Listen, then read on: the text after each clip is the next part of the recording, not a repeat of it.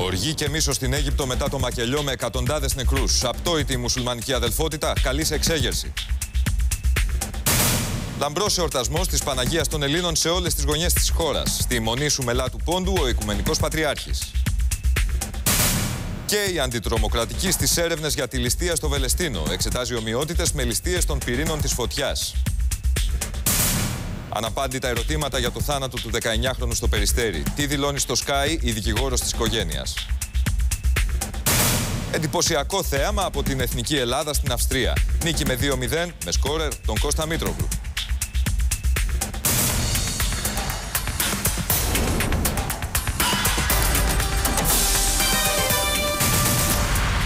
Καλησπέρα σας και χρόνια πολλά. Είναι 5η, 15 Αυγούστου και βλέπετε τα νέα τους Sky στις 9. Η εκατόμβη στην Αίγυπτο συνεχίζεται χωρίς σημάδια άμεσης εκτόνωσης. Περισσότεροι από 500 οι νεκροί. Ο επίσημος απολογισμός, η μουσουλμανική αδελφότητα, μιλά για περισσότερους από 2.500. Σε χιλιάδες όμως μετριούνται και οι τραυματίες, πολλοί από αυτούς σοβαρά. Οι υποστηρικτές του έκτοτου Προέδρου Μόρση ζητούν από τον πληθυσμό να ψηφίσει την απαγόρευση κυκλοφορίας.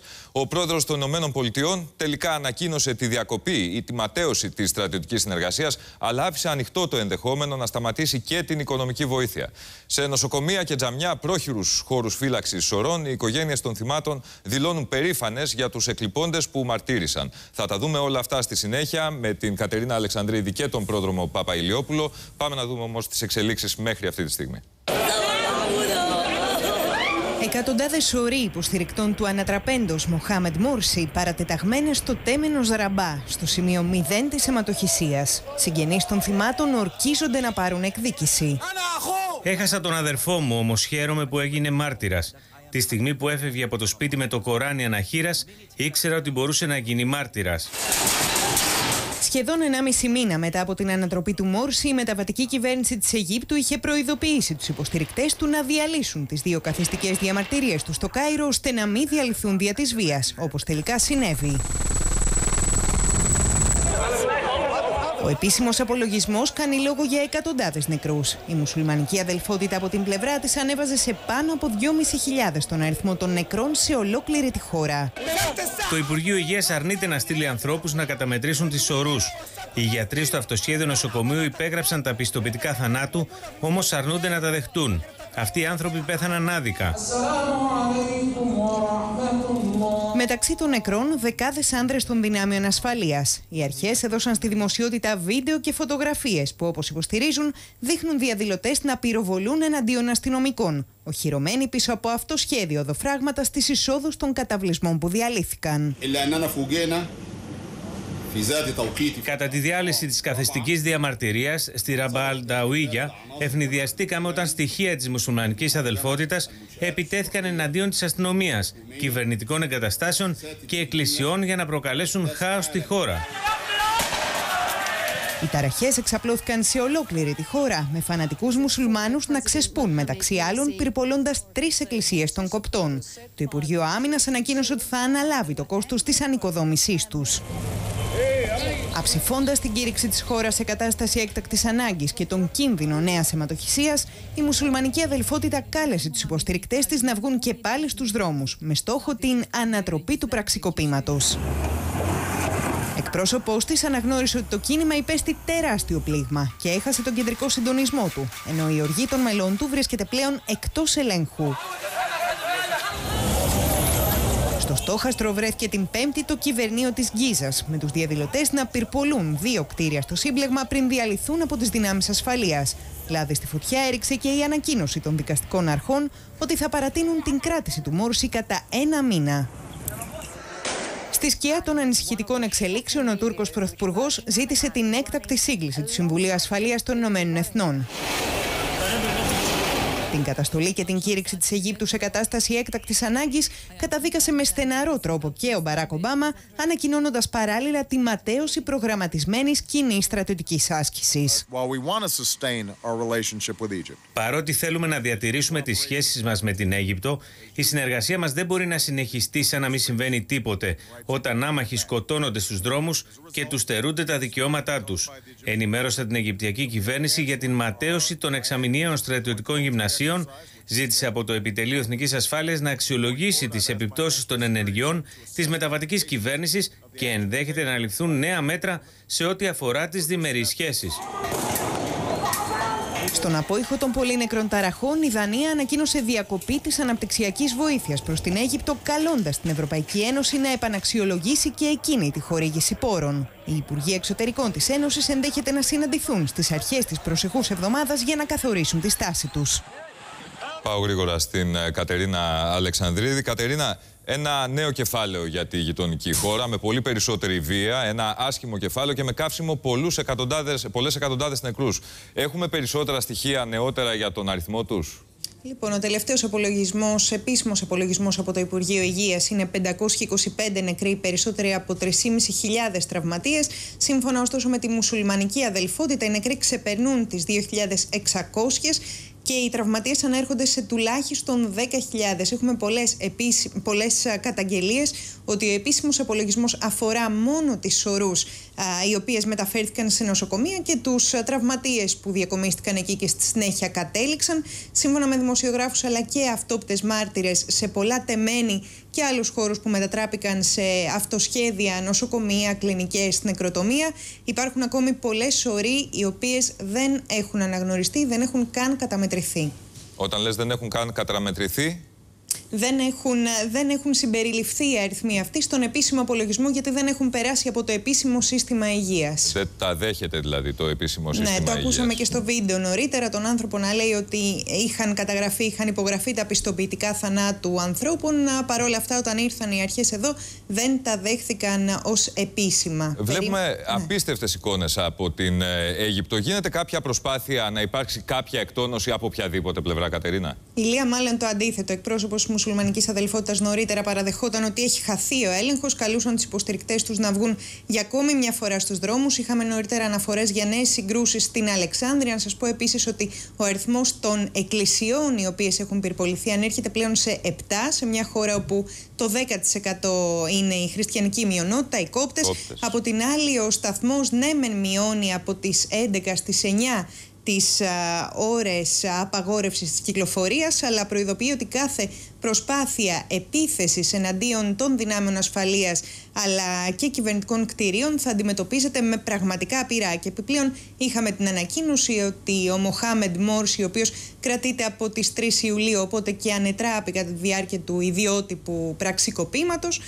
θα συνεχίσει να κρατείται για τουλάχιστον 30 ημέρες ακόμη. Θυμίζουμε ότι κατηγορείται για πολλά πράγματα, μεταξύ άλλων για δολοφονίες, για συνωμοσία με τη Χαμάς και ούτω καθεξής. Είδαμε και τις διεθνείς αντιδράσεις. Δεν ξέρω αν έχουμε όλες τις διεθνείς αντιδράσεις. Ε, ακόμη ο κύριος Ομπάμα μίλησε για διακοπή της στρατιωτικής συνεργασίας, δεν είπε κάτι για την οικονομική στήριξη. Τι άλλο έχουμε από αυτό το πεδίο των διεθνών αντιδράσεων; Το στρατιωτικό είναι αυτό που κρατάμε σε επίπεδο, ε, στο επίπεδο των σχέσεων ΗΠΑ-Αιγύπτου, καθώς ο στρατός θυμίζουμε ότι χρηματοδοτείται με 1,3 δισεκατομμύρια δολάρια το χρόνο. Διπλωμάτες μάλιστα έλεγαν ότι τόσο Αμερικανοί όσο και Ευρωπαίοι αξιωματούχοι βρίσκονταν στα τηλέφωνα με τους Αιγύπτιους, με τις Αιγυπτιακές αρχές μέχρι την τελευταία στιγμή για να αποτρέψουν αυτό που τελικά συνέβη, να, μην να διαλυθούν δηλαδή κατά αυτόν τον τρόπο οι καθιστικές διαμαρτυρίες. Φαίνεται ότι από πολλές χώρες έχουμε έτσι μια, αρχίζει, αρχίζουν να επανεξετάζουν μάλλον τις ε, σχέσεις τους ε, με την Αίγυπτο μετά από τα όσα έγιναν. Από την πλευρά της, η Τουρκία διαστόματος Ερντογάν είπε ότι όσοι παραμένουν σιωπηλοί μπροστά σε αυτή τη σφαγή είναι και εκείνοι το ίδιο ένοχοι με εκείνους που τη διέπραξαν. Ο Γάλλος πρόεδρος κάλεσε στο μέγαρο των Ηλυσίων τον Αιγύπτιο πρεσβευτή για να καταδικάσει την καταστολή και να του ζητήσει άρση της κατάστασης εκτάκτου ανάγκης. Και είχαμε πριν από λίγο και δηλώσεις της ΥΠΑ της αρμοστή του, του Οργανισμού Ηνωμένων Εθνών για τα Ανθρώπινα Δικαιώματα ζήτησε τη διεξαγωγή ανεξάρτητης έρευνας για τη συμπεριφορά των δυνάμεων ασφαλείας, με στόχο, όπως είπε, να αποδοθούν ευθύνες και κάλεσε όλες τις εμπλεκόμενες πλευρές να κάνουν ένα βήμα πίσω από το χείλος της καταστροφής. Εν τω μεταξύ, φαίνεται ότι έχουμε την Αίγυπτο στα πρόθυρα ή στα πρώτα επεισόδια ενός εμφυλίου. Τη Συρία επίκεντρο καθημερινών σφαγών και το Λίβανο σε τροχιά αναζωπήρωσης, ε, Κατερίνα. Σε ώρα εχμής, ισχυρή έκρηξη συγκλώνησε την Νότια Βηρητό. Ναι, 20 νεκροί είναι ε, και περισσότεροι από 200 τραυματίες είναι ο τελευταίος απολογισμός αυτής της έκρηξης. Παγιδευμένο αυτοκινήτου, το οποίο βρισκόταν σταθμευμένο ανάμεσα σε δύο κτίρια, σε περιοχή όπου κυριαρχεί η Σιητική Χεσμολά. Η έκρηξη είχε ως αποτέλεσμα πολλά αυτοκίνητα να τυλιχθούν στις φλόγες, να εγκλωβιστούν άνθρωποι που βρίσκονταν μέσα στα κτίρια. Και την ευθύνη για τη φωνική επίθεση ανέλαβε πριν από λίγο μια σουνητική οργάνωση που αυτό αποκαλείται ταξιαρχίες της Άισα και σημειώνουμε ότι όλα αυτά συνέβησαν μία ημέρα πριν από προγραμματισμένη ομιλία του Γενικού Γραμματέου του Κινήματος του Χάσαν Νασράλα στην Νότια Βηρητό. Κατερίνα Αλεξανδρίδης, σε ευχαριστώ πολύ. Πάμε και στον πρόδρομο Παπαϊλιόπουλο. Πρόδρομε, η Μεσόγειος φαίνεται ότι φλέγεται. Πριν από λίγο, ο Υπουργός Εξωτερικών είχε επικοινωνία με τον Πατριάρχη Αλεξανδρίας και Πάση Αφρικής, Θεόδωρο. Τι υπόθηκε; Ναι, ο Ηλία, ο κύριος Βενιζέλος και ω αντιπρόεδρος της κυβέρνησης επικοινώνησε απόψε με τον ε, Πατριάρχη Αλεξανδρίας και Πάση Αφρικής, τον ε, κύριο Θεόφιλο, ε, για να τον ενημερώσει, να μάθει πώς έχει η κατάσταση στην Αίγυπτο. Ενημερώθηκε λοιπόν πως οι ναοί και τα ιδρύματα του Πατριαρχείου παραμένουν σε πλήρη ασφάλεια τουλάχιστον μέχρι αυτή τη στιγμή. Ο κ. Βενιζέλος επανέλαβε στον Πατριάρχη ότι η Ελλάδα είναι έτοιμη να παράσχει κάθε βοήθεια στο Πατριαρχείο και φυσικά στην ελληνική κοινότητα εφόσον αυτό χρειαστεί. Ήδη το γενικά, τα γενικά προξενία της Ελλάδας στο Κάιρο αλλά και στην Αλεξάνδρεια βρίσκονται σε πλήρη ετοιμότητα. Και μάλιστα ο Έλληνας πρέσβης, ο οποίος βρισκόταν σε άδεια, ε, ήδη την έχει διακόψει και κατευθύνεται προς το ε, Κάιρο προκειμένου να αναλάβει ε, τα καθήκοντά του. Ασφαλώς η ελληνική πλευρά παρακολουθεί με πολύ ενδιαφέρον τις εξελίξεις Ηλία, καθώς στην Αίγυπτο ζουν πάρα πολλοί Έλληνες. Πάρα πολλοί Έλληνες είναι κοντά μας, εμπλέκεται και η Τουρκία. Αρχίζει ένα πολύ μεγάλο κεφάλαιο. Σε ευχαριστώ πολύ, Πρόδρομη Παπαϊλιόπουλε.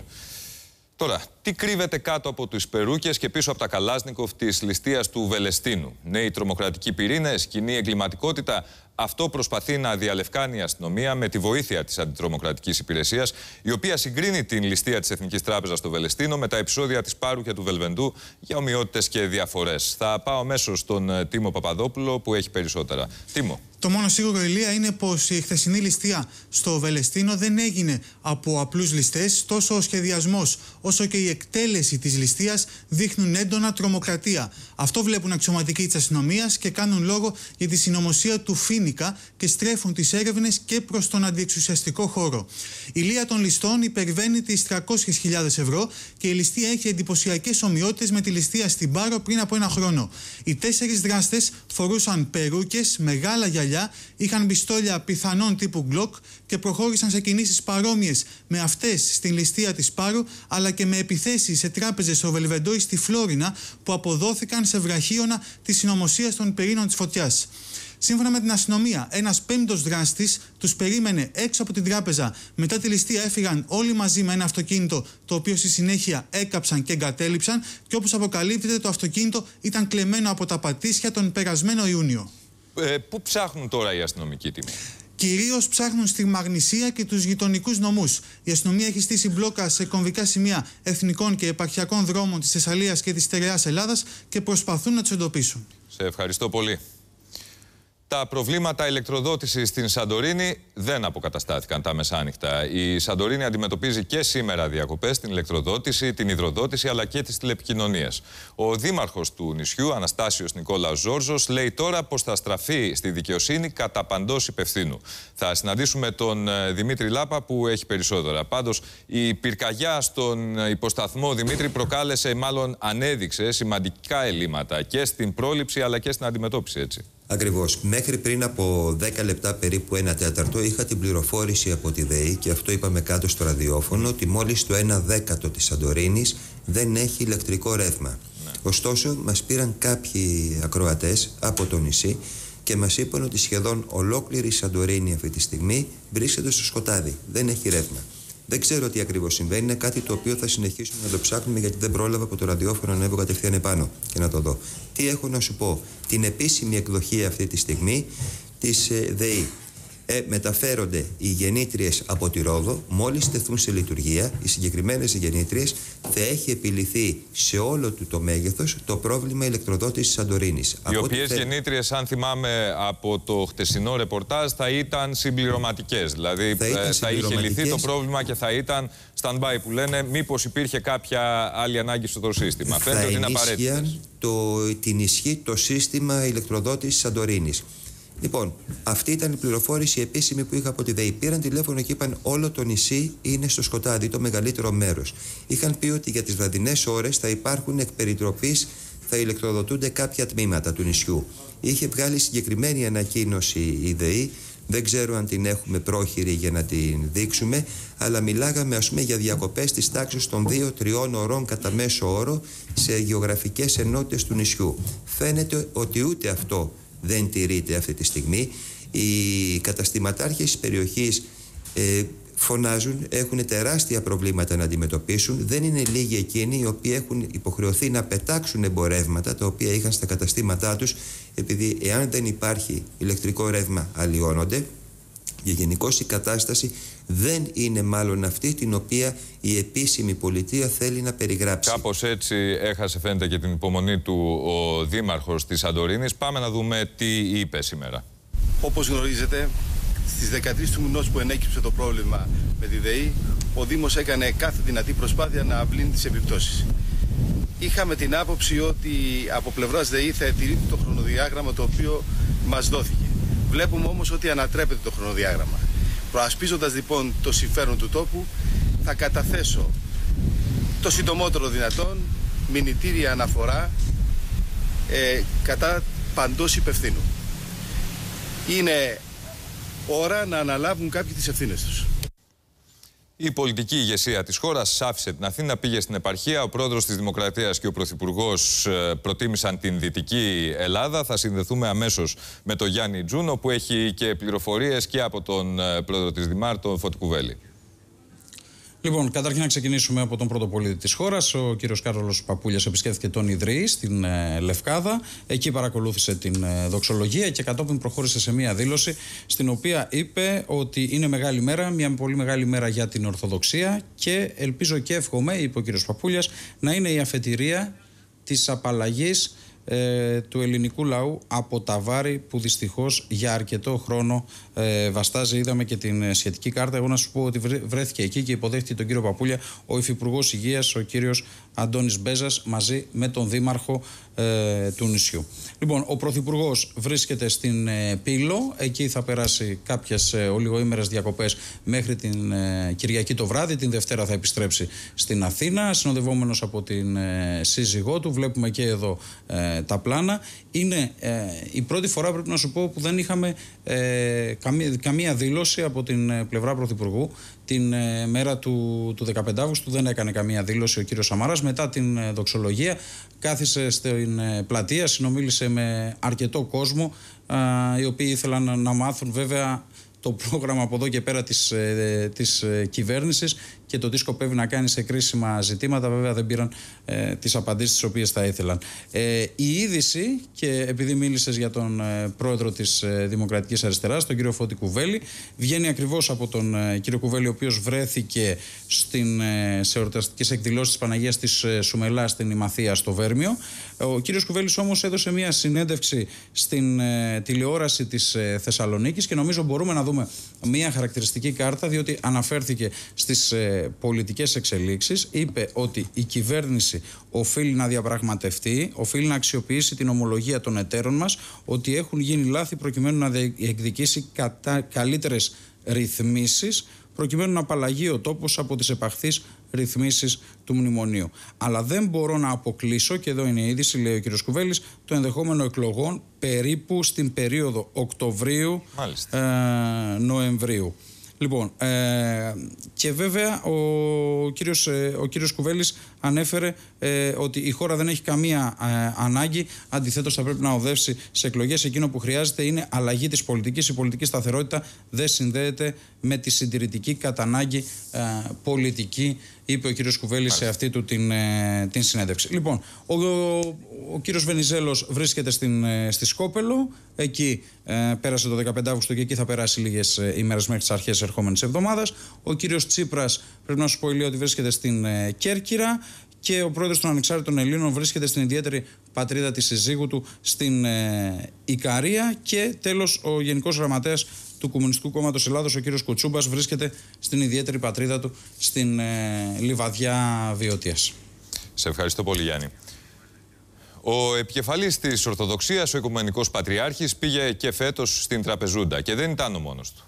Στην ε, Παναγία Σουμελά του Πόντου συλλειτουργήσαν ιερείς από τις τέσσερις άκρες του κόσμου. Στην Ελλάδα τώρα η κοίμηση της Θεοτόκου γιορτάστηκε με λαμπρότητα σε όλα τα γνωστά σημεία.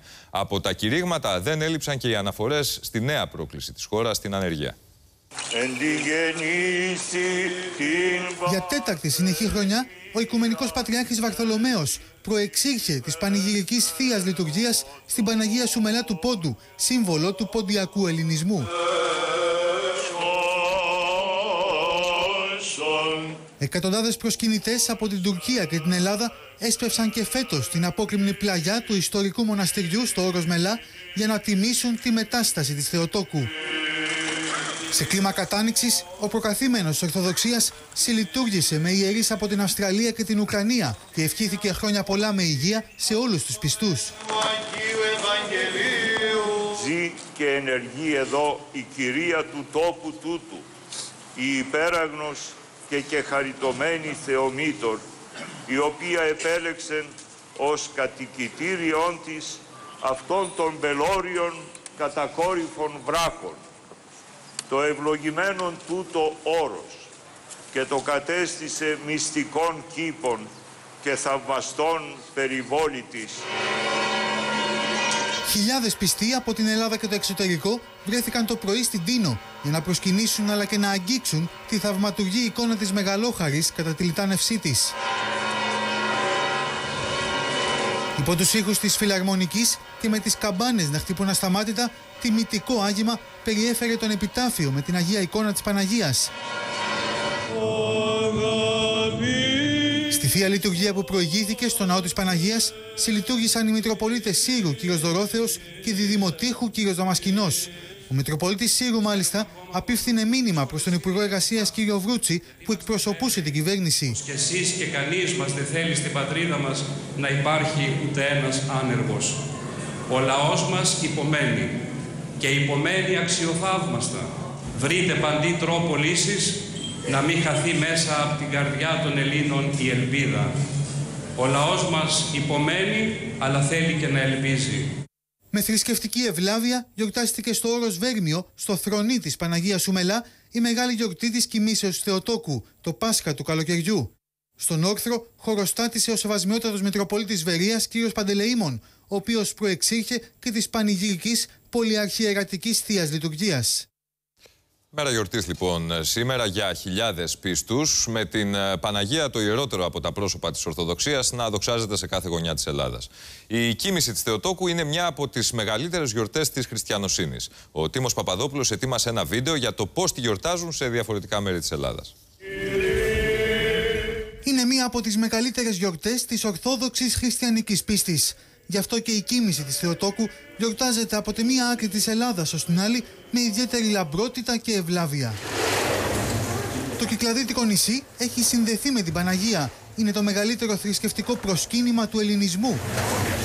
Κάθε χρόνο χιλιάδες πιστοί πλημμυρίζουν το νησί για να προσκυνήσουν την θαυματουργή εικόνα της Παναγίας στην εκκλησία της Μεγαλόχαρης και να αποθέσουν τα τάματά τους. Και μάλιστα πολλοί από αυτούς ανεβαίνουν τα σκαλοπάτια της εκκλησίας μέχρι την εικόνα της Παναγιάς γονατιστή. Ίσως είναι η πιο εντυπωσιακή εκκλησία του Αιγαίου. Η εκκλησία της Παναγίας στην Παρικιά είναι από τους αρχαιότερους και καλύτερα διατηρημένους χριστιανικούς ναούς. Μετά την καθιερωμένη περιφορά του επιταφείου ξεκινά το μεγάλο πανηγύρι. Στο λιμανάκι της Νάουσας η νύχτα γίνεται μέρα όταν δεκάδες καΐκια προσεγγίζουν την προβλήτα με αναμένα δαδιά και όλοι περιμένουν την κορύφωση, την άφηξη των πειρατών στο λιμάνι για την έναρξη της γιορτής με νησιώτικους χορούς. Πλήθος πιστών συγκεντρώνεται κάθε χρόνο στην αυλή της Ιεράς Μονής της Παναγίας της Φιδούς στην περιοχή Μαρκόπουλου για να δουν τα φιδάκια της Παναγίας. Κάθε 15 Αυγούστου τα μικρά φιδάκια εμφανίζονται στο καμπαναριό και η Εκκλησιαστική Επιτροπή τα μεταφέρει στο προάβλιο του Ιερού Ναού. Σύμφωνα με την παράδοση, τα φιδάκια φέρνουν καλή τύχη στο νησί και αν δεν εμφανιστούν, ο ιονό είναι κακός. Όπως έγινε για παράδειγμα τη χρονιά των μεγάλων σεισμών πριν από μερικές δεκαετίες. Η εικόνα της Παναγίας στη γραφική κομμόπολη της Αγιάσου είναι πλασμένη με κερί και μαστίχα. Πολλοί από τους προσκυνητές με αφετηρία την πόλη της Μυτιλίνης περπατούν 25 χιλιόμετρα για να φτάσουν στον αυλόγυρο της εκκλησίας όπου και διανυκτερεύουν. Στις 14 και 15 Αυγούστου όλη η Ισιάτιστα δονείται στους ρυθμούς των χάλκινων και του ασταμάτητου γλεντιού. Το έθιμο των καβαλάριδων προσκυνητών έρχεται από την τουρκοκρατία, όταν αποτελούσε μια ευκαιρία στους κλαβωμένους να δείξουν την λεβεντιά και τον πόθο τους για λευτεριά. Ανήμερα του 15 Αύγουστου, οι καβαλάριδες ξεκινούν το πρωί για να προσκυνήσουν την εικόνα της Παναγίας στο Φερόνιμο Μοναστήρι που βρίσκεται στο Μικρό Καστρό. Το μεσημέρι, οι παρέες των καβαλάριδων με τα καταστόλιστα άλογα μπαίνουν επιβλητικά στη Σιάτιστα και στην πλατεία της χώρας τους επισκέπτονται αρχές και λαός. Στο νησί της Ορθοδοξίας, τα πάντα περιστρέφονται γύρω από το ιστορικό μοναστήρι της Αποκάλυψης, του οποίου οι μοναχοί τηρούν το βυζαντινών καταβολών έθιμο του επιταφείου της Παναγίας. Ο χρυσοπίκυλτος επιτάφιος της Παναγίας περιφέρεται στα σοκάκια του νησιού, σε μεγαλοπρεπή πομπή, ενώ οι καμπάνες του μοναστηριού και των άλλων εκκλησιών ηχούν ασταμάτητα. Αφήνουμε το εορταστικό κλίμα. Ο εισαγγελέας ζητά περισσότερες διευκρινήσεις και μαρτυρίες σχετικά με το μοιραίο έλεγχο εισιτηρίων στο τρόλεϊ στο Περιστέρι που οδήγησε στο θάνατο ενός 19χρονου. Η δικηγόρος της οικογένειας του θύματος μίλησε στο Sky και εστίασε στο ποιος ή πώς άνοιξε η πόρτα του τρόλεϊ και τι ακριβώς συνέβη λίγο πριν εντός του οχήματος μεταξύ ελεγκτή και θύματος. Στο σημείο όπου ο 19χρονο Θανάσης έχασε τη ζωή του, στη λεωφόρο Παναγίτης Σαλδάρη στο Περιστέρι, φίλοι και περαστικοί αφήνουν λουλούδια και κεριά. Τα ερωτήματα για το τι ακριβώς συνέβη παραμένουν ακόμα πολλά. Για ένα εισιτήριο να τον βγάζει έξω από το τρόλεϊ και να χάσει τη ζωή του το παιδί. Πού έχει ξαναγίνει αυτό το πράγμα; Ο 19χρονο επιβιβάστηκε στο τρόλεϊ από τη στάση του Αγίου Αντωνίου με κατεύθυνση προς Ανθούπολη. Μια στάση αργότερα μπήκε στο όχημα ένας ελεγκτής και κατευθύνθηκε προς τον νεαρό, ζητώντας το εισιτήριο. Όταν εκείνος του είπε ότι δεν έχει, τότε ο ελεγκτής του ζήτησε ταυτότητα και στη συνέχεια να αποβιβαστούν μαζί στο τέλος της διαδρομής. Λίγο αργότερα, ο 19χρονο πήδηξε από το όχημα. Το επίμαχο σημείο είναι ποιος άνοιξε την πόρτα του τρόλεϊ και έδωσε το παιδί. Ναι. Άλλοι μάρτυρες λοιπόν αναφέρουν ότι το παιδί άνοιξε από μόνο του την πόρτα απλά με τα χέρια του. Κάτι το οποίο θεωρώ ότι είναι αρκετά δύσκολο. Βέβαια, αυτά είναι πληροφορίες που εχουμε δεν είναι επίσημα στοιχεία. Κάποιοι άλλοι μάρτυρες αναφέρουν ότι το παιδί χρησιμοποίησε το κουμπί έκτακτης ανάγκης. Και κάποιοι άλλοι μάρτυρες, η τρίτη άποψη που ακούγεται είναι ότι το ότι το παιδί δεν άνοιξε σε καμία περίπτωση την πόρτα. Αυτό υποστηρίζει και ο πατέρας του άτυχου νεαρού που κάνει έκκληση σε όποιον γνωρίζει τι ακριβώς συνέβη μέσα στο τρόλεϊ να μιλήσει. Τώρα, αν υπάρχει κάποιος μά... μάρτυρας να πει μέσα στο, στο τραμ τι έγινε, ας προσέλθετε να μάθουμε κι εμείς την αλήθεια. Και εμείς και οι δικαστές. Το βράδυ της Τετάρτης, φίλοι και κάτοικοι του Περιστερίου έκαναν συγκέντρωση διαμαρτυρίας έξω από το Δημαρχείο της πόλης, λίγα μέτρα από το σημείο του δυστυχήματος. Εκεί, διαδηλωτές ακινητοποίησαν ένα τρόλεϊ της γραμμής που επέβαινε ο 19χρονο που έχασε τη ζωή του και κατέβασαν οδηγό και επιβάτες χωρίς να δημιουργηθούν επεισόδια. Όταν όλα αυτά λήξουν, είναι προφανές ότι θα πρέπει να κάτσουμε να σκεφτούμε τι έγινε, πώς έγινε και αν υπάρχουν ευθύνες να αποδοθούν, αλλά στο μεταξύ θα ήταν καλό να απέχουμε από μια συμπεριφορά που είναι λίγο κανιβαλική, η οποία δεν θα βοηθήσει την κοινωνία μας και δεν θα βοηθήσει την κοινωνία σε αυτό που σας είπε. Δεν πήρε χτε καμιά δημοσιότητα, αλλά εξαιτίας της συζήτησης που διεξάγεται αυτή τη στιγμή, χτε το βράδυ διακόψαμε την κοινωνία. Ποιον, ποιον αυτό το πράγμα επηρεάζει; Ο οδηγός και ο ελεγκτής συνελήφθησαν όμως αφέθηκαν ελεύθεροι χωρίς να ασκηθεί σε βάρος τους δίωξη. Ωστόσο, ο εισαγγελέας διέταξε να γίνει ενδελεχής έρευνα από την τροχιά περιστερίου για τις συνθήκες του δυστυχήματος, να εξεταστούν αυτόπτες μάρτυρες αλλά και οι γονείς του άτυχου νέου. Επίσης, θα καταθέσουν άμεσα ανομωτή και ο οδηγός και ο ελεγκτής. Μπορεί να μην έχει μείνει σχεδόν ούτε περίπτερο ανοιχτό στην πρωτεύουσα, αλλά τα μουσεία είναι ανοιχτά και δέχονται κόσμο. Ρεκόρ επισκεπτών, ανάλογο με το ισχυρό τουριστικό ρεύμα, ενώ σε όλη την Ελλάδα στις 21 Αυγούστου θα μείνουν ανοιχτά και τη νύχτα. Το φως θα το βάλει Πανσέλινος. Βόλτε στα σοκάκια τη πλάκα, καλό φαγητό στα εστιατόρια του κέντρου τη Αθήνα, αγορέ σουβενίρ και βέβαια επίσκεψη στα μουσεία αποτελούν το καθημερινό πρόγραμμα των ξένων επισκεπτών στην πρωτεύουσα. From Canada? Yes. You have just visited the Archaeological Museum? Yes. What's your opinion? Uh, it's very nice. Very nice. N- nice and open, uh, really well lit, and the descriptions are really nice beside each um, artifact. Πολλοί από τους ξένους επισκέπτες που συναντήσαμε διαπιστώσαμε ότι γνωρίζουν να μιλούν και ελληνικά. Από την Ισπανία είμαστε. Α, μιλάτε και ελληνικά. Λίγο. Επισκεφτείτε το Αρχαιολογικό Μουσείο. Ναι. Ποια είναι η γνώμη σας; Μ' αρέσει πάρα πολύ. Είναι ένα μουσείο, ε, νομίζω ότι είναι το καλύτερο από την Ευρω- Ευρώπη και μ' αρέσει πάρα πολύ. Και βέβαια δεν έλειψαν και τα παράπονα. Yeah, it's beautiful, very interesting, but um, um, it would be better if uh, you uh, provide for the audio guide, because it's very difficult to read, uh, to explain, to understand something. Πόλος έλξης χιλιάδων τουριστών είναι και το Μουσείο της Ακρόπολης που δεν χρειάζεται πολλές συστάσεις. It was interesting. It was good.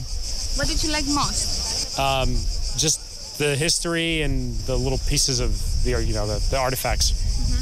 It's a really good museum. Yeah, it's a really nice museum. It has a big space and the art is is really nice. Για το Μουσείο της Ακρόπολης που αναδεικνύεται πρώτο σε αριθμό επισκέψεων, κάποιοι έκαναν το δικό του σχόλιο. Is there something that you didn't like? Well, I did not. The only thing that I did not like was that the the main pieces are in the British Museum, but that's not a flaw of the museum itself, but uh, part of the British. Is there was something that you didn't like? the pigeons the pigeons at the uh, on the restaurant and that was it no no it was it was great we we loved it all Ο Παρθενώνας στην Ακρόπολη ελκύει χιλιάδες τουρίστες κάθε χρόνο από όλο τον κόσμο. Αποτελεί το σύμβολο της τέχνης, της δημοκρατίας, της σοφίας και βέβαια του πολιτισμού. Και μην ξεχνάτε ακόμα και εσείς που μείνατε πίσω. Περισσότεροι από 100 αρχαιολογικοί χώροι, μνημεία και μουσεία στην Αττική αλλά και σε όλη την επικράτεια, από τη ζώνη του Εύρου έως τη Φεστό της Κρήτης και από το παλαιό φρούριο της Κέρκυρας μέχρι το Ηραίο της Σάμου, θα παραμείνουν ανοιχτοί το βράδυ της 21ης Αυγούστου για την πραγματοποίηση του θεσμού της Αυγουστιάτικης Πανσελίνου. Εκτός μουσείων, η πόλη μόνη θέλει λίγο χρόνο για τον εαυτό της. Άδεια και φέτος το 15 Αύγουστο η Αθήνα από κατοίκους, παρά το γεγονός ότι έφυγαν λιγότεροι σε σχέση με πέρσι. Όσοι έμειναν στην πρωτεύουσα πάντως, απόλαυσαν τους άδειους δρόμους. Οι υπηρεσίες και καταστήματα κλειστά, ενώ και στους κεντρικούς δρόμους κυκλοφόρησαν ελάχιστα αυτοκίνητα. Δεν είναι λίγοι όμως που ακόμη και σήμερα, για πολλούς λόγους, επέλεξαν τη δουλειά. Και εμείς προσπαθούμε, όπως και όλοι, να βγάλουμε αυτή την ημέρα εδώ στο κέντρο του Πειραιά όσο περισσότερα μπορούμε. Γιατί θα έρθουν κάποιοι άνθρωποι, θα τους εξυπηρετήσουμε και ξένοι και Έλληνες βέβαια. Έχετε ξαναδουλέψει 15 Αύγουστο; Όχι, δεν έχω ξαναδουλέψει 15 Αύγουστο. Είναι η πρώτη φορά. Ε, και ελπίζω και τελευταία. 15 Αύγουστο. Δεν λείπουν όμως όλοι από την πόλη. Η οικονομική κρίση, η έλλειψη χρημάτων για διακοπές ή ακόμα και η συνήθεια είναι μερικοί από τους λόγους που οδηγούν αρκετούς συμπολίτες μας να βρίσκονται στο πόστο τους όταν όλοι οι άλλοι χαίρονται τις παραλίες. Ναι, βγήκαμε να δουλέψουμε γιατί δεν έχουμε λεφτά. Για αυτό το πράγμα βγήκα και για δουλειά. Γιατί αν δεν έχω στη δουλειά, δεν έχουμε να πάμε. Εγώ σήμερα εργάζομαι λίγο από ανάγκη, λίγο για το Σαββατοκύριακο θα πάρω την οικογένεια να φύγουμε για δύο-τρεις μέρες. Αυτά έτσι είναι τα πράγματα. Η κίνηση λύγει στα μαγαζιά και στους δρόμους. Ωστόσο, όσοι έχουν μείνει στο κλεινό νάστη πρέπει να εξυπηρετηθούν. Εργαζόμαστε για το καλό του επιβατικού κοινού για να μπορεί να πάει στον προορισμό του και κάνουμε ό,τι μπορούμε, ό,τι μπορούμε το καλύτερο δυνατόν. Όχι μόνο εγώ, όλοι οι συνάδελφοι, η εταιρεία η ίδια για να εξυπηρετήσουμε το επιβατικό κοινό. Όλοι εύχονται του χρόνου να μην δουλεύουν για να απολαύσουν και εκείνη το λεγόμενο Πάσχα του καλοκαιριού. Όμως, όπως υποστηρίζουν, αυτό δεν εξαρτάται μόνο από αυτούς. Είναι και η κρίση, λένε. Είναι και πώ θα πάει η οικονομία. Ανοιχτά, όπως όλοι, δουλεύουμε περισσότεροι. Εμείς δεν έχουμε ωράρια, δεν έχουμε τίποτα. Όλη μέρα εδώ. Παρ' όλα αυτά, όλοι με το χαμόγελο στα χείλη και την ελπίδα ότι κάτι θα αλλάξει μέσα στη χρονιά. Είδομεν. Η οικονομική κρίση στερεί από πάρα πολλούς Έλληνες τις διακοπές που έκαναν παιδιά. Οι Financial Times είχαν αφιερώσει άρθρο για τις οικογένειες που δεν μπορούν πια να παραθερήσουν ούτε καν στα κοντινά της πρωτεύουσας ελληνικά νησιά. Ο Γιώργος Τσελίκας συνάντησε λουωμένους ακόμη και στην ναυπηγοεπισκευαστική βάση Περάματος. Είμαστε στην καρδιά του καλοκαιριού. Μέρα με τη μέρα ο υδράργυρος καρφαλώνει σε επικίνδυνα επίπεδα. Πολλές από τις παραλίες γεμίζουν καθημερινά από πολίτες που σπέβδουν να δροσιστούν ακόμα και σε νερά αμφιβόλου ποιότητας. Αφού δεν έχουμε να πάμε κάπου αλλού, ερχόμαστε εδώ. Λένε ότι είναι καθαρά. Άλλοι κάνουν πολλά χρόνια. Εγώ ήρθα πρώτη χρονιά εδώ πέρα, αλλά κάνω το μπάνιο μου. Τι να κάνω. Δεν έχουμε λεφτά να πάμε κάπου αλλού. Κάτοικοι από τα Μπούρια, Πέραμα, Κερατσίνη, Νίκια έρχονται εδώ στην παραλία του Περάματος να κολυμπήσουν. Για αυτούς το καλοκαίρι είναι μια θάλασσα μικρή. Θα δείτε εκεί πέρα έχει κάτι πινακίδες ότι γράφει μολυσμένα ύδατα και απαγορεύεται το κολύμπι. Εμείς δεν έχουμε ούτε το κομμάτι το ψωμί, το ξεροκόμματο ε, και λέμε να τη βγάλουμε εδώ πέρα. Είναι καθαρά τα νερά. Είναι, δεν είναι, η ψυχή μας το ξέρει. Αμέ, πού να πάμε τώρα, μακριά, ε, τα λεφτά, οι βενζίνες ακριβέ, τα πάντα όλα. Τίποτε, τίποτε. Άνθρωποι γενναίοι, απογοητευμένοι, αναγκαστικά προσαρμοσμένοι λόγω του οικονομικού μαρασμού, κολυμπούν στα γάργαρα πετρελαϊκά νερά που πότε ριδίζουν και πότε πρασινίζουν από τα σάπια φύκια και τη λάσπη. Καλό είναι το μπάνιο, οπωσδήποτε, αλλά λόγω οικονομικής κρίσης δεν είμαστε για περισσότερα. Ότι είναι απέναντι όμως τα παροπλισμένα πλοία, αυτό δεν σας ανησυχεί για την υγεία σας; Και αυτό είναι ένα μεγάλο ρίσκο. Το οποίο δεν το λαμβάνουμε υπόψη μας προκειμένου να κάνουμε το μπάνιο. Βρισκόμαστε στο Καραμαγκά, στον κόλπο της Ελευσίνας, όπου άνθρωποι από γύρω περιοχές έρχονται να κολυμπήσουν, να λιαστούν στα βράχια ανάμεσα στα δηληστήρια και στα παροπλισμένα πλοία. Δυστυχώς η οικονομική κρίση μας έχει κάνει έτσι που δεν μπορούμε να πάμε πουθενά αλλού και ερχόμαστε εδώ και κάνουμε μπάνιο. Και καλά που υπάρχει και αυτή η θάλασσα, γιατί διαφορετικά δεν θα μπορούσαμε να τη δούμε τη θάλασσα ούτε από μακριά. Δυστυχώς. Δεν μπορούμε να πάμε πιο πέρα γιατί τώρα να πας και στη Σαλαμίνα να πας 20 ευρώ. Τα 20 ευρώ πηγαίνει να πας κάθε μέρα δεν σε φέρει γιατί δεν έχουμε να πάρουμε και το γάλα μετά. Κάνω μπάνιο γιατί δεν έχω λεφτά καθόλου. Ναι, λεφτά υπάρχουν, πού να πάμε. Πού κάνω μπάνιο αφού δεν έχω λεφτά. Σκαραμαγκάς, Ασπρόπυργος, Ελευσίνα. Περιοχές όπου εδώ στη Δυτική Αττική οι κάτοικοι τις αποκαλούν πίσω αυλή του λεκανοπεδίου. Εδώ κάνουν μπάνιο άνθρωποι που δεν έχουν τη δυνατότητα να πάνε διακοπές. Μια θάλασσα που αρκετούς χαλαρώνει ακόμα και να απαγορεύεται να κολυμπούν. Φύλακες άγγελοι δασών και περιουσιών. Εθελοντές δασοπυροσβέστες που περνούν 24 ώρα στο βουνό προκειμένου να διασφαλίσουν ότι το πράσινο που βλέπουμε θα παραμείνει πράσινο. Δείτε πορτρέτα ανθρώπων που χωρίς προσωπικό όφελος δαπανούν το δικό τους χρόνο για να είναι οι υπόλοιποι πιο σίγουροι για το φυσικό πλούτο που έχει απομείνει. Μια ενημέρωση από τον τομέα σας. Την ώρα που χιλιάδες Αθηναίοι αφήνουν πίσω τους την πρωτεύουσα προκειμένου να κοιτάξουν τον εαυτό τους, τις διακοπές τους, την ξεκούραση και τη διασκέδασή τους, κάποιοι άλλοι μένουν πίσω. Επάνω στο βουνό για ώρες να κοιτούν μέσα από τα κιάλια ή να δίνουν την ψυχή τους 24 ώρα ολόκληρα, μέρα και νύχτα για να σβήσουν μία πυρκαγιά. Μία πυρκαγιά που μπορεί να καίει τους τελευταίους πνεύμονε πρασίνου της πρωτεύουσας ή ακόμα και το ίδιο μας το σπίτι. Διαθέτουμε όσο περισσότερο χρόνο μπορούμε από τον ελεύθερο χρόνο μας, από την προσωπική μας ζωή, από την οικογένειά μας, από τη δουλειά μας πολλές φορές, για να διαφυλάξουμε αυτή τη κληρονομιά που μας, κάποιοι άλλοι μας άφησαν να διαφυλάξουμε. Άνθρωποι που κάνουν πράξη την αυτοθυσία και την ανιδιοτέλεια είναι και τα μέλη της ομάδας φίλων του δάσους που εδρεύει στη Βαριμπόμπη. Για αυτούς, η ξεκούραση και οι διακοπές δεν έχουν σημασία. Σημασία έχει και το Σεπτέμβρη να υπάρχει το δάσος, το πράσινο που βλέπουμε και αναπνέουμε. Εμείς έχουμε σημεία που παρακολουθούμε, όπως είναι εδώ το κομμάτι που λέγεται Θέα. Υπάρχουν άλλα κομμάτια όπως είναι η Πάρνηθα, άλλα κομμάτια όπως είναι η Ιπποκράτιο Πολιτεία ή από εδώ από το Κρυονέρι. Προς το παρόν ε, όλα γίνονται κατευθείαν Θεού και πάμε πάλι πολύ καλά. Τώρα πάντα παίζει ρόλο ο άνεμος και κάποιοι, κάποιοι ας πούμε, που κάνουν ε, τις ζημίες σε αυτό το τομέα. Εξοπλισμένοι με πίστη, υπομονή και θέληση, παλεύουν καθημερινά με τις φυσικές αντοχές του ανθρώπου για να παρέχουν στις πυροσβεστικές δυνάμεις και τον συνάνθρωπό τους τη μεγαλύτερη βοήθεια που μπορούν. Μέσω της δασοπαρατήρησης μπορέσουμε και δώσουμε τον παραμικρό καπνό στο Σιβάν έχουμε πετύχει το 80% μιας πυρκαγιά. Σε περίπτωση ανείχνευσης καπνού, οι εθελοντές δασοπυροσβέστες που βρίσκονται στα παρατηρητήρια ή σε περιπολία ενημερώνουν άμεσα το κέντρο ελέγχου τους, το οποίο με τη σειρά του ενημερώνει την πυροσβεστική. Εδώ πέρα έχουμε στο κομπιούτερ τις ομάδες οι οποίες είναι ενταγμένες στο σύστημα Firecom το οποίο έχει το ίδιο ακριβώς και η πυροσβεστική υπηρεσία και από εδώ βλέπει ποιες εθελοντικές ομάδες έχουν διαθέσιμα αυτοκίνητα και σε ποια σημεία τα έχουν ενταγμένα για οτιδήποτε συμβεί έτσι ώστε να ξέρει ποιο αυτοκίνητο θα καλέσει για να πάει προς το περιστατικό που θα υπάρξει. Εθελοντές δασοπυροσβέστες ή πραγματικοί ήρωες, ό,τι κι αν είναι, αξίζουν τον σεβασμό, τη συμπαράσταση και την αμέριστη δική μας βοήθεια. Έχουμε συνδεθεί τηλεφωνικά με τον Δήμαρχο της Σαντορίνης, τον κύριο Ζόρζο. Δήμαρχε, καλησπέρα. Ποια είναι η κατάσταση αυτή τη στιγμή στο νησί σε σχέση με τις διακοπέ του ρεύματος; Καλησπέρα σας. Ενώ μέχρι τώρα έβαινε βελτιούμενη η κατάσταση, αλλά όχι με το χρονοδιάγραμμα που είχε δώσει η ΔΕΗ, εδώ περίπου και μία ώρα είχαμε Ναι. ένα νέο blackout. Σε όλο το νησί, Ενημερώθηκα. blackout εννοείται. Ένα νέο blackout, ναι. Μάλιστα. Ενημερώθηκα πηγαίνοντας ο ίδιος στο εργοστάσιο της ΔΕΗ. Έχει ε, ε, χαλάσει, έχει εκραγεί ένας πυκνοτής και που δημιούργησε ανισορροπία μεταξύ παραγωγής και ζήτησης. Όμως, όπως και να έχουν τα πράγματα, η- αρχίζει να γίνεται αδιάφορη, αδιάφορο. Ποια είναι η αιτία.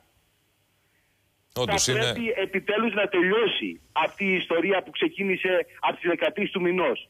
Είναι απαράδεκτο να μην μπορούμε μέχρι σήμερα να έχουμε μια φυσιολογική παροχή ρεύματος. Σύμφωνα με τη δική σας την αίσθηση, αυτό το νέο blackout γυρίζει το νησί 48 ώρες πριν ή είναι κάτι το οποίο ενδεχομένως η ΔΕΗ σας έχει δώσει διαβεβαίωση ότι το οποίο θα αντιμετωπιστεί πολύ άμεσα; Διαβεβαίωσαν, με διαβεβαίωσαν ότι θα αρχίσει σταδιακά η παροχή ρεύματος στις περιοχές της Σαντορίνης. Και το πρόγραμμα τέλος πάντων το οποίο εξέδωσαν θα ε, αρχίσει να υλοποιείται και πάλι. Όμως Τι τώρα ώρα ξανά, θα αρχίσει πάλι η αποκατάσταση Δεν το της ξέρω. ρευστότητας. Δεν, Δεν το σας ξέρω έχουν πει. αυτή τη στιγμή. Ούτε θέλω, ούτε θέλω να μένω στις διαβεβαιώσεις πλέον. Αρχίζει να είναι αδιάφορο το τι κάνουν. Και θέλω να πω εδώ και να καλέσω να έρθει ένας υπουργός να συντονίσει την κατάσταση. Και να παρεύει ο εισαγγελέας. Ποια είναι η κατάσταση αυτή τη στιγμή στο νησί, γιατί φαντάζομαι αυτό το blackout θα, θα σώκαρε και τους επαγγελματίες αλλά και τους τουρίστες που περίμεναν. Ε, Είχαν εμπιστευτεί ότι από τα μεσάνυχτα χθες το, η ταλαιπωρία θα λάμβανε τέλος. Είχαν και τις διαβεβαιώσεις τις δικές μας οι οποίες ήταν ε, αντίστοιχες με τις διαβεβαιώσεις που έδινε η ΔΕΗ. Δεν μπορώ να δώσω πλέον καμία διαβεβαίωση.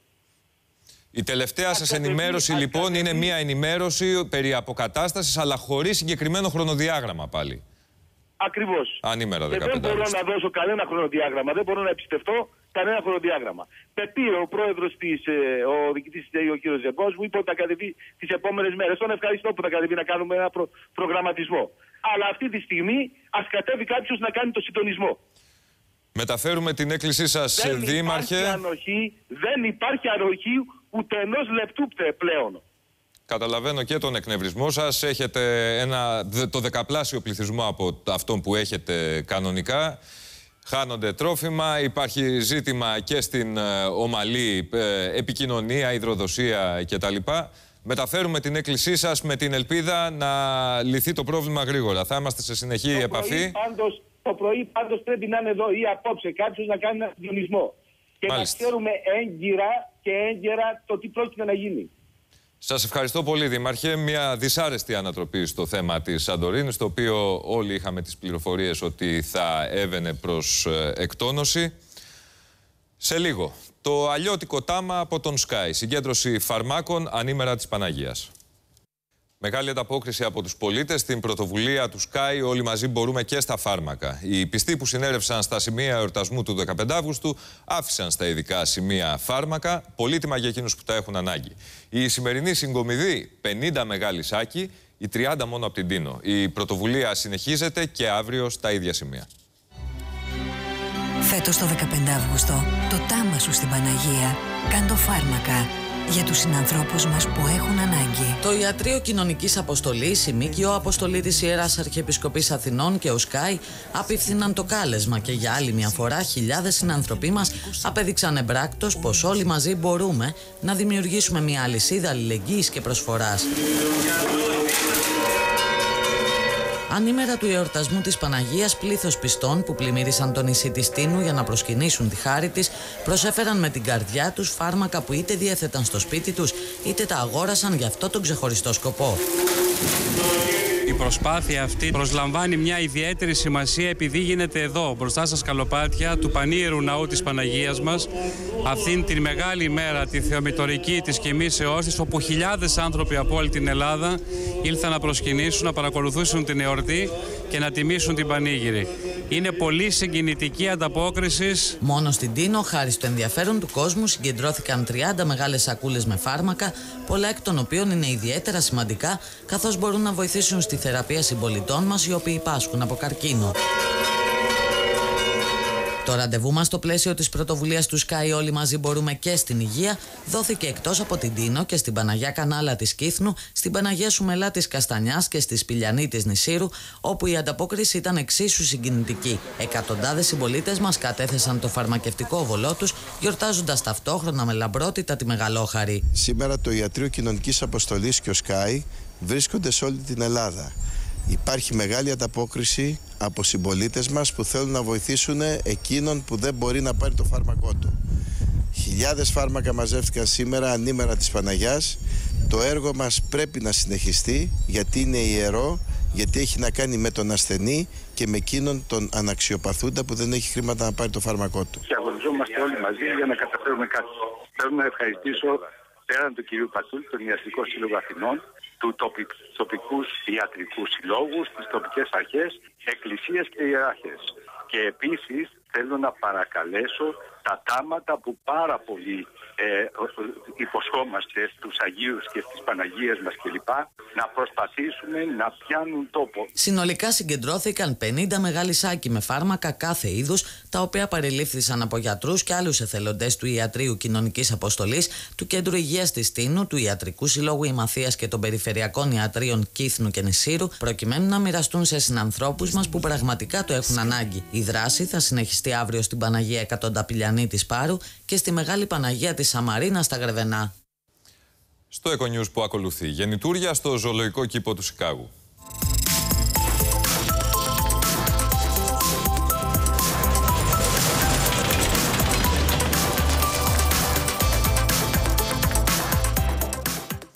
Ένα εντυπωσιακό και συγκινητικό βίντεο δείχνει ένα δελφίνι να γεννά μπροστά στις κάμερες της πισίνας του ζωολογικού κήπου του Σικάγο. Αρχικά ξεπροβάλλει η ουρά του μικρού δελφινιού και στιγμές αργότερα βλέπετε ολόκληρο το σώμα του. Αμέσως το μικρό δελφίνι βγαίνει στην επιφάνεια για να πάρει την πρώτη του ανάσα και στη συνέχεια καταδύεται και παίρνει θέση στο πλάι της μητέρας του, την οποία μοιάζει να μην θέλει να αποχωριστεί καθόλου. Το νεογέννητο δελφίνι και η μητέρα του θα είναι υποστενή παρακολούθηση για τις επόμενες ημέρες.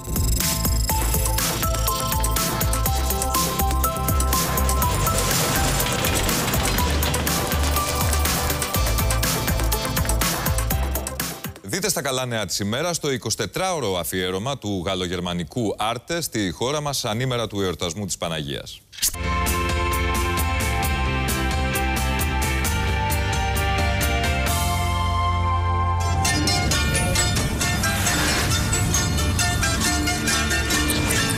15 Αύγουστο γεμάτο Ελλάδα παρουσιάζει σήμερα το γαλλογερμανικό κανάλι Arte με 24 ώρα αφιέρωμα στη χώρα μας. Οι γαλλόφωνοι και γερμανόφωνοι τηλεθεατές έχουν την ευκαιρία να ταξιδέψουν στην καρδιά της Ελλάδας και των κατοίκων της μέσα από 17 βραβευμένα ντοκιμαντέρ τα οποία υπογράφουν κυρίως Έλληνες σκηνοθέτες και παραγωγή. You are beautiful. I love you. Η Ελληνίδα δημοσιογράφος Δήμητρα Κουζή ταξιδεύει η ίδια στα μοναδική ομορφιά ελληνικά νησιά για να μοιήσει τους τηλεθεατές του Αρτέ στην παραδοσιακή μαγειρική του καθενός, την ανεπανάληπτη ελληνική φιλοξενία και τις ξεχωριστές ομορφιές του κάθε τόπου. Πρόκειται ουσιαστικά για ένα σύγχρονο πορτρέτο της Ελλάδας πέρα από τα στερεότυπα και τα αρνητικά πρωτοσέλιδα των εφημερίδων.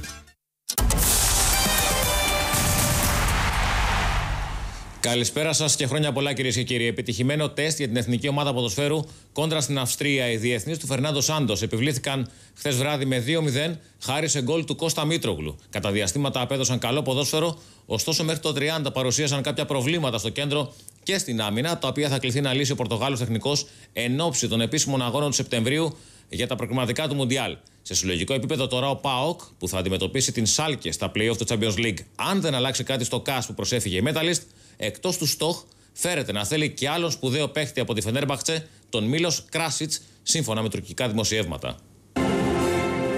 Η εθνική ομάδα ποδοσφαίρου αντιμετώπισε στο Σάλτσμπουργκ την Αυστρία στο τελευταίο φιλικό τεστ πριν από τους αγώνες του Σεπτεμβρίου με Λιχτενστάιν και Λετωνία για τα προκριματικά του Μουντιάλ. Η ομάδα του Φερνάντο Σάντος έδειξε πολύ καλό πρόσωπο και παρά τις πολλές αλλαγές στο αρχικό σχήμα πήρε την νίκη.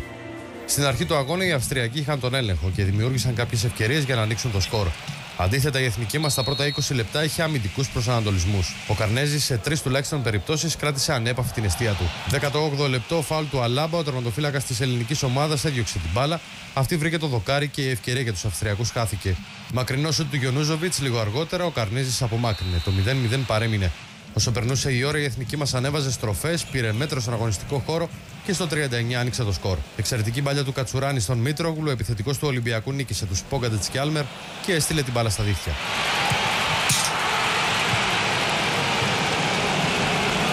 Στο 67 η ελληνική ομάδα σκόραρε ξανά και πάλι με τον Μήτρογλου. Ο Χολέμπας έκανε όμορφη κίνηση, πάσαρε στον επιθετικό του Ολυμπιακού και αυτός δεν άφησε περιθώρια αντίδρασης στον τερματοφύλακα των γηπεδούχων. Το αντιπροσωπευτικό μας συγκρότημα είχε πια τον απόλυτο έλεγχο και θα μπορούσε να σημειώσει και τρίτο γκολ. Στο 72 ο Τζιόλης με όμορφο σουτ έστειλε την μπάλα στο δοκάρι. Νέο δοκάρι για την εθνική μας, αυτή τη φορά με τον Χολέμπα στο 86ο λεπτό. Το 2-0 για την ελληνική ομάδα παρέμεινε μέχρι το τέλος. Η προετοιμασία για τα επίσημα παιχνίδια είναι στην τελική ευθεία και ο Φερνάντος Σάντος έμεινε ικανοποιημένος από την απόδοση των Ελλήνων διεθνών. Ε, νομίζω ότι γενικά τα πράγματα πήγαν αρκετά καλά. Ε, νομίζω ότι αυτά που ήθελα εγώ να δω σε κάποιο βαθμό τα είδα. Είδα κάποιους συνδυασμούς, κάποιους αυτοματισμούς που δημιουργήθηκαν και απόρρια αυτών ήταν ε, βέβαια και τα, και τα δύο γκολ. Δεν αγωνίστηκε κυρίες και κύριοι μόνο η εθνική χθες το βράδυ. Δείτε και άλλα γκολ από φιλικά παιχνίδια σε όλο τον κόσμο. Ξεχωρίζει σίγουρα το 3-3 της Παραγουάης με την Γερμανία επί γερμανικού εδάφους. Η Βραζιλία, μετά την κατάκτηση του Confederation Cup, παρουσιάστηκε αγνώριση στη φιλική αναμέτρηση με την Ελβετία και γνώρισε την ήττα σοκ με ένα 0. Το μοναδικό τέρμα της συνάντησης προήλθε από πόδια Βραζιλιάνου, αφού ο Ντάνι Άλβες με αυτογκόλ στο 48 διαμόρφωσε το τελικό αποτέλεσμα. Σε ένα ακόμα φιλικό παιχνίδι, Εκουαδόρ Ισπανία 0-2. Ο Νεγρέδος 25 άνοιξε το σκορ για τους πρωταθλητές κόσμου και Ευρώπης. Ενώ λίγο μετά της συμπλήρωσης μιας ώρας αγώνα, ο Καθόρλα διαμόρφωσε το τελικό σκορ. Η Χιλή έκανε επίδειξη δύναμης απέναντι στο Ιράκ, που διέλυσε με το εκοφαντικό 6-0. Στο 8 ο Μενά, με καταπληκτικό σούτ, άνοιξε το σκορ. Ο Σάντζες στο 22 ήταν αυτός που έβαλε με δύο γκολ μπροστά την ομάδα του. 7 λεπτά αργότερα και πάλι ο επιθετικός Μπαρσελόνα χρήστηκε σκόρερ για το 3-0. Το ημίχρονο έκλεισε με τη Χιλή να κάνει γηγενό περίπατο, φτάνοντας σε ακόμα δύο γκολ. Η αρχή έγινε στο 37 με το Ποσεζούρ. Ενώ στο 45 ο ίδιος παίξει και πάλι ανέβασε το δίκτυο του σκορ στο 5-0. Στο 80 ο Ενρίκες από κοντά διαμόρφωσε το τελικό Χιλή Ιράκ 6-0. Η Γερμανία, πληρώνοντας αμυντικές τη αδυναμίες, ήρθε στο πάλι 3-3 με την Παραγουάη. Στο 10 ο Νούνιας έκανε το 1-0. Για να έρθει ο Πιτών στο 13 να κάνει το 2-0. Τα Πάντσερ μάθησαν γρήγορα την κατάσταση. Με τον Γκούντοκαν στο 18 να μειώνει αρχικά σε 2-1. Και το Μίλεν στο 31 να φέρνει τον μπας στα ίσια. Ο Σαμούντιος στο 45 έβαλε και πάλι σε θέση οδηγού τους φιλοξενούμενους. Στο 75 ο Λάρτς Μπέτνερ με δυνατό σουτ μέσα στην περιοχή διαμόρφωσε το τελικό 3-3. Σε μια ακόμα φιλική αναμέτρηση, χωρίς πολλές φάσεις όμως, Βέλγιο και Γαλλία ήρθαν ισόπαλες χωρίς τέρματα. Μια σύντομη ματιά στις αγορές, τις ξένες αγορές, καθώς το χρηματιστήριο της Αθήνας παρέμεινε κλειστό σήμερα λόγω της αργίας. Στην Ευρώπη είχαμε όμως σημαντικές πτώσεις ε, μετά τα χθεσινά καλά νέα. Οι επενδυτές απογοητεύονται. Ε, στην Αμερική έχουμε σημαντικότερη ακόμη πτώση. 1,44 υποχωρούσε πριν από λίγο ο δείκτης Dow Jones στη Νέα Υόρκη. Στο συνάλλαγμα το ευρώ ενισχύεται έναντι του δολαρίου, υποχωρεί έναντι του γεν. Ενώ στο πετρέλαιο έχουμε ανωδικές τάσεις και για το αμερικανικό και για το ευρωπαϊκό αργό. Ο Χρυσός Τέλος έκανε άλμα το απόγευμα, ξεπέρασε τα 1350 δολάρια ουγγιά στα 1367.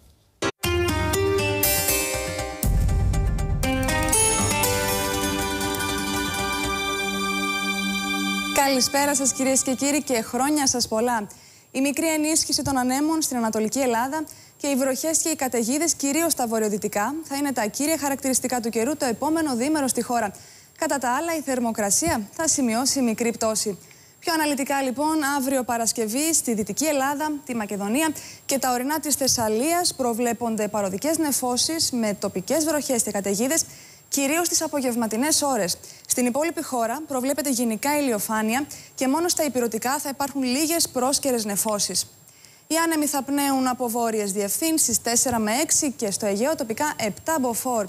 Η θερμοκρασία το μεσημέρι θα φτάσει στη Δυτική Ελλάδα τους 36 βαθμούς, στα υπόλοιπα υπηρετικά τους 35 και στα νησιά μας τους 34 βαθμούς Κελσίου. Στην Αττική προβλέπονται λίγες πρόσκαιρες νεφώσεις. Οι άνεμοι θα πνέουν βόρειο-βορειοανατολική 5 με 6 και στα ανατολικά τοπικά 7 μποφόρ. Η θερμοκρασία θα κυμανθεί από 24 έως 34 βαθμούς Κελσίου. Στην περιοχή της Θεσσαλονίκης προβλέπονται τοπικές νεφώσεις με πιθανότητα βροχής ή καταιγίδας στις απογευματινές ώρες, κυρίως στα γύρω ορεινά. Οι άνεμοι θα πνέουν βόρειο-βορειοδυτική 3 με 4 μποφόρ. Η θερμοκρασία θα κυμανθεί από 21 έως 34 βαθμούς Κελσίου. Το Σαββατοκύριακο στη Μακεδονία, τα ορεινά της Υπήρου, της Θεσσαλίας, της Στερεάς και της Κρήτης προβλέπονται τοπικές νεφώσεις με σποραδικές βροχές και λίγες καταιγίδες. Πάντως την Κυριακή τα φαινόμενα θα σταματήσουν σχεδόν παντού. Οι άνεμοι θα πνέουν από βόρειες διευθύνσεις 4 με 6 και στο Αιγαίο τοπικά 7 μποφόρ με τάση εξασθένηση στην Κυριακή. Η θερμοκρασία δεν θα αλλάξει σημαντικά. Τέλος, το δίμερο Δευτέρα και Τρίτη, ο καιρός στη χώρα μας θα είναι γενικά έθριος και μόνο το απόγευμα στα υπηρετικά θα συνεφιάζει τοπικά. Οι άνεμοι θα πνέουν από βόρειες διευθύνσεις στο Ιόνιο 3 με 5 μποφόρ, στο Αιγαίο 6 και πιθανώς πρόσκαιρα κατά τη διάρκεια της ημέρας 7 μποφόρ. Η θερμοκρασία θα σημειώσει μικρή άνοδο. Καλό σας βράδυ.